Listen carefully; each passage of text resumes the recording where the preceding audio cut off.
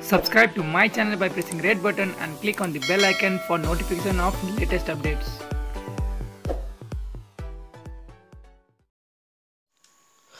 चीनका राष्ट्रपति सी जिनफिङलाई स्वागत गर्न राष्ट्रपति विद्यादेवी भण्डारी प्रधानमन्त्री केपी शर्मा ओलीसहित सिङ्गो मन्त्री परिषद त्रिभुवन अन्तर्राष्ट्रिय विमानस्थल जाने भएका छन् भारतको चेन्नईबाट विशेष विमानमा काठमाडौँका लागि उडेका राष्ट्रपति सी अपराह्न चार तिस बजे त्रिभुवन अन्तर्राष्ट्रिय विमानस्थलमा अवतरण गर्नेछन्। सीलाई स्वागत गर्न सबै मन्त्रीहरू पाउने चार बजे विमानस्थलमा पुग्ने तयारीमा छन्। हामी सबै मन्त्री पाउने चार बजे विमानस्थल पुग्नेछौँ। राष्ट्रपति र प्रधानमन्त्री सी ओर्लनु केही समय अघि आउनुहुन्छ एक मन्त्रीले भने।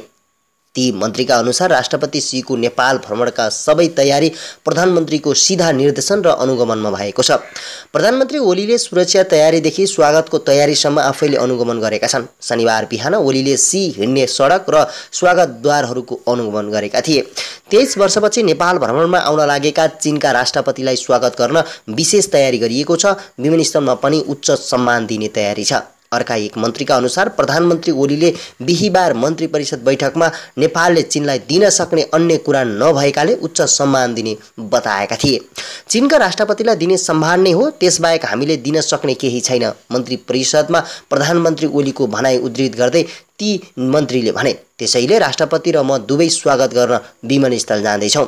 राष्ट्रपति र प्रधानमन्त्री नै स्वागत गर्न जाने भएपछि मन्त्रीहरू जाने नै भए। साथै प्रधान न्यायाधीश र संवैधानिक अङ्गका प्रमुखहरू पनि सीलाई स्वागत गर्न विमानस्थल पुग्दैछन्। राष्ट्रपति सीको स्वागतका लागि राष्ट्रसेवा कर्मचारी माइतीघर मण्डलादेखि बानेश्वरसम्म लामबद्ध भएर बसेका छन्। सीको स्वागत र विदाईमा माइती घरदेखि बानेश्वरसम्म बस्न शुक्रबार नै आधिकारिक ट्रेड युनियन मार्फत कर्मचारीलाई आग्रह गरिएको थियो।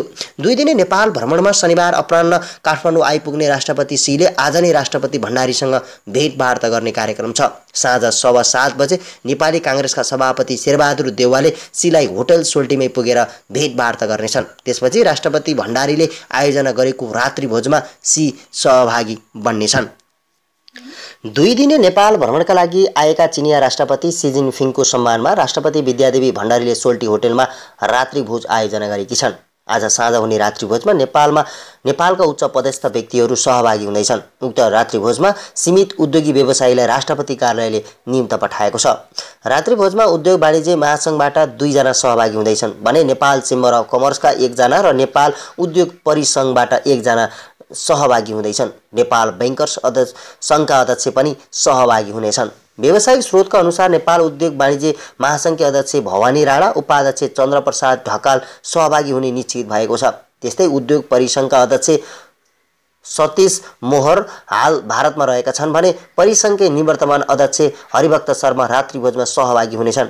त्यस्तै नेपाल चेम्बर अफ कमर्सका अध्यक्ष राजेश काजी श्रेष्ठलाई पनि निम्तो आएको उनले बताए। उद्योगी व्यवसायीहरूलाई छुट्टै भेट नदिएकाले उक्त रात्रिभोजमा नै केही एजेन्डामा छलफल गर्ने रात्रिभोजमा सहभागी हुने व्यवसायीहरूले बताएका छन्। उद्योग वाणिज्य महासङ्घकी अध्यक्ष राणाले छोटो समयका लागि चिनिया राष्ट्रपति नेपाल आउनु भएकाले छुट्टै समय नपाएको बताए। उनले भनिन् तर पनि रात्रिभोजमा सहभागी भएर केही कुराहरू राख्न सकिने अवस्था भने देखिएको छ।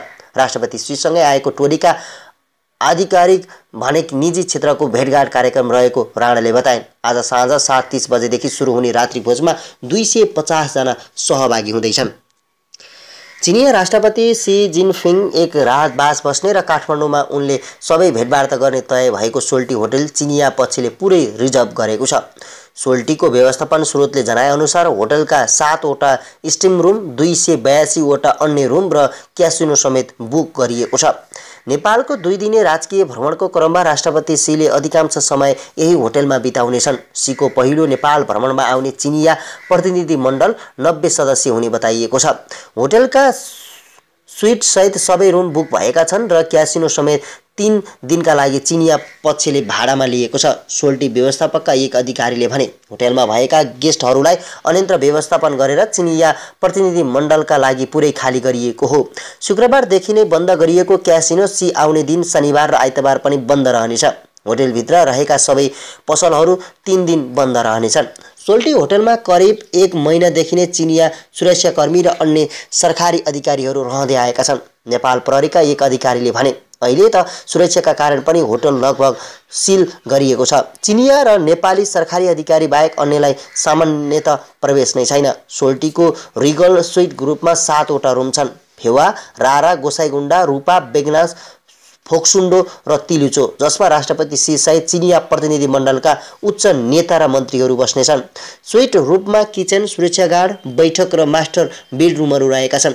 एउटा स्विटको एक रातको मूल्य अठार सय अमेरिकी डलरसम्म रहेको र दस प्रतिशत सेवा शुल्क र तेह्र प्रतिशत भ्याट थपिन्छ सोल्टीका ती अधिकारीले भने।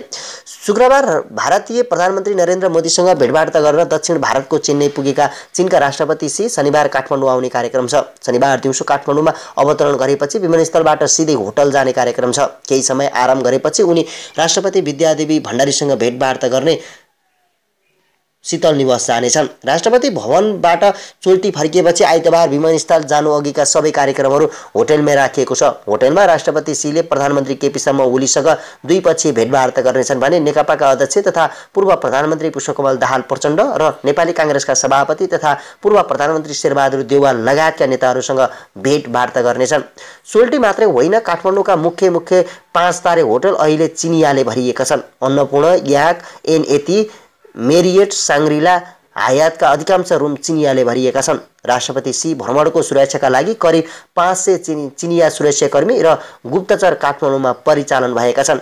सय बढी चिनिया सञ्चारकर्मी काठमाडौँमा आइसकेको जनाइएको छ।